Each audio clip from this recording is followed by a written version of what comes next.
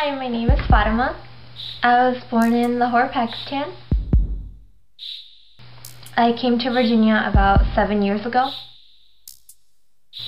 I'd always heard about George Mason from the start, stuff about how good of a university it is. So when it was time to apply to different universities and colleges, Mason was definitely my number one choice.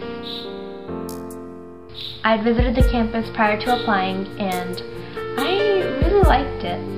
It was pretty open and just the right size for me actually.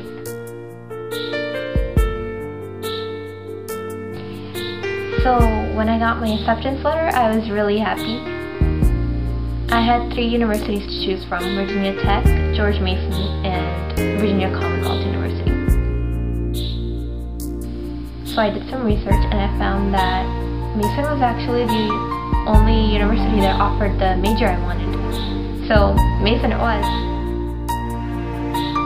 I went to the orientation and I really enjoyed myself there. There were a lot of different types of people, a lot of diversity, and everyone got along great. I met a lot of new people. So now I definitely can't wait for the fall. Go class of 2013!